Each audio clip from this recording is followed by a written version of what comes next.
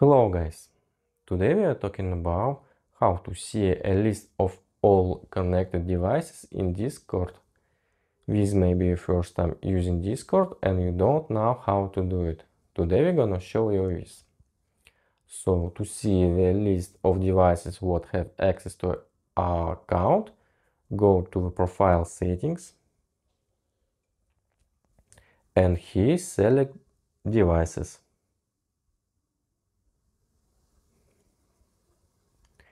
Here we see that only my iPhone and iPad have access to the account. And that's it. If you're wondering how to see a list of all connected devices in Discord, this is the easiest way now. If you know no way, please leave a comment. Be sure to subscribe for more videos. Bye bye.